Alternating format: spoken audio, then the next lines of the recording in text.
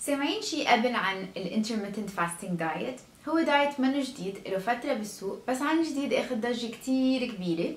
هو عبارة عن صيام خلال النهار وأشهر واحد منهم هو بس الشخص يصوم 16 ساعة بعدين يأكل بالثمان ساعات اللي بعدهم.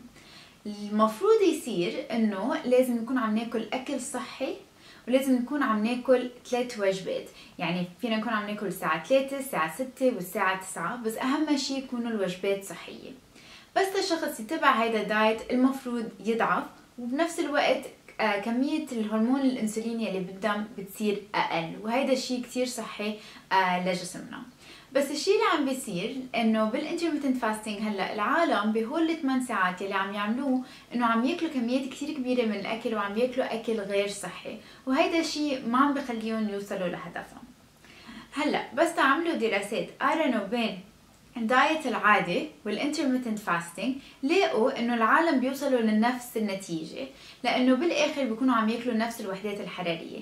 يعني بس تروح أنت عند أخصائية تغذية بتقلك تاكل خلينا نقول 1200 أو 1500 وحدة حرارية. وبال intermittent fasting كمان بتكون عم تاكل 1200 وحدة حرارية. فبالآخر حتوصل لنفس النتيجة. بس مين هن العالم يلي ممكن يستفيدوا من ال intermittent fasting العالم يلي بيستفيدوا هن العالم يلي كتير بيلقمشوا خلال النهار. آه يعني بصير عندهم أقل وقت خلال النهار لحتى يلقمشوا لحتى ياكلوا أشياء شمال أو يمين لحتى ياكلوا أشياء شوكولا أو تشيبس أو تمر أو حيلا شيء خلال النهار يلي هو جسمهم عن جد ما هالقد بيحتاجوا. فهول العالم أكيد بيستفيدوا.